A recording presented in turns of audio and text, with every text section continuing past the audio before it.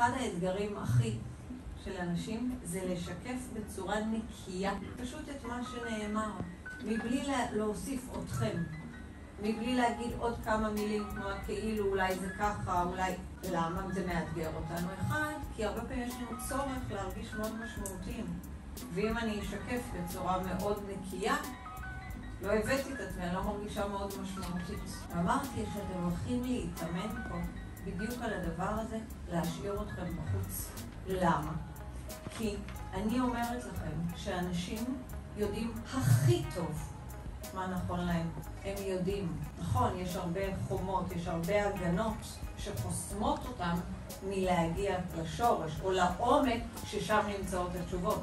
אבל הם יודעים הכי טוב מה נכון להם.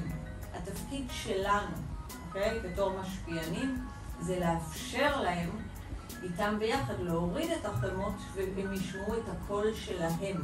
אבל אם התערבתי מדי או הבאתי את עצמי, אני ממשיכה לייצר עוד בלבול. אז כשאני אומרת לשקף, זה לא להביע דעה, זה לא לייעץ, זה באופן מאוד נקי להחזיר את מה שהבן אדם אומר. כי כשבן אדם פתאום מתחיל לשמוע את עצמו, אתם לבד תראו מה קורה. כי אנחנו כל כך הרבה בחיים מפזרים מילים, אנחנו לא אומרים. אף אחד לא מחזיר אותם אלינו.